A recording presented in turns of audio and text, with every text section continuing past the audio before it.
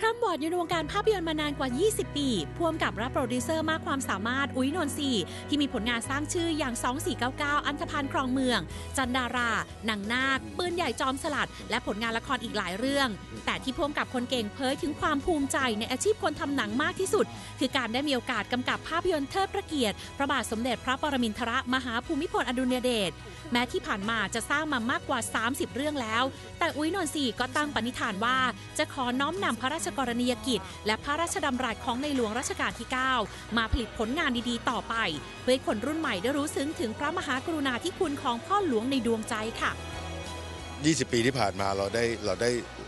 รีเสิร์ชเราได้ค้นคว้าข้อมูลที่เกี่ยวกับพระองค์ท่านมามากมายนะมันยังมีอีกเยอะแยะมากมายที่อยากจะอยากจะพูด โดยเฉพาะยิ่งอยากจะให้คนรุ่นใหม่ว่าทำไม